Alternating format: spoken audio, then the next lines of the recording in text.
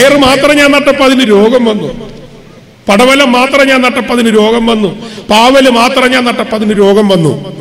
അവസാനം എനിക്ക് ദേഷ്യം വന്നപ്പോ ഇതെല്ലാ വിത്തുകളെല്ലാം കൂടെ എടുത്തൊരു കുഴിയിലോട്ട് ഒറ്റയേറെറിഞ്ഞു ഈ കുഴിയിലേക്ക് ഇതെല്ലാം കൂടെ പോയി വീണിട്ട് അതിങ്ങനെ കെട്ടുപിണഞ്ഞ് കെട്ടുപിണഞ്ഞ് അതിന്റെ ഇടയിൽ കിടന്ന് കിളുത്ത് കിളുത്ത് ഇങ്ങനെ പൊങ്ങി വന്നപ്പോ ഞാൻ ചുമ്മാ രണ്ട് കയറ് കെട്ടിക്കൊടുത്ത് കയറാൻ അതിനുശേഷം അതിന്റെ മേളിൽ ഞാനൊരു പന്തൽ കെട്ടിക്കൊടുത്തു.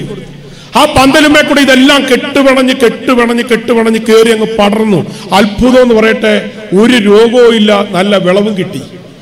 നായരും നമ്പൂതിരിയും പറയനും പോലേനും ഉള്ളാടനും മുസ്ലിമും നസ്രാണിയും നമ്മളെല്ലാം കൂടെ കൂടി ചേർന്ന് നിന്നാൽ രോഗമില്ലാത്തൊരു സമൂഹമാണ് എന്ന ബോധ്യമാണ് നമ്മളെയൊക്കെ കർഷകനാക്കുന്നത്. എന്നൊരു ആത്മബോധത്തിലാകണം നമ്മൾ ജീവിക്കേണ്ടത്.